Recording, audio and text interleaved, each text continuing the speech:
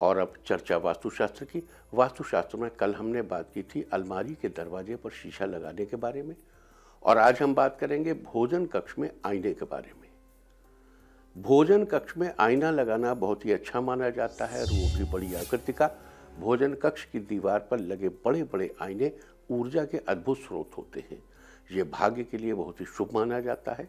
अगर भोजन कक्ष में ठीक डाइनिंग टेबल के सामने बड़ा सा आईना लगा हो तो उसमें खाने के दौरान देखने पर खाने के दोगुना होने का आभास होता है। इससे भूख तो अधिक लगती ही है, साथ ही घर के सदस्यों का स्वास्थ्य भी अच्छा रहता है और उनमें खुशी का संचार बढ़ता है। इसके अलावा अगर आपका किचन पश्चिम मुखी है तो आप पीछे की तरफ़, यानी पूर्व दिशा की दीवार पर एक शीशा लगाएँ। इससे अगर आपके किचन में कोई भी वास्तु दोष है तो दूर हो जाएगा।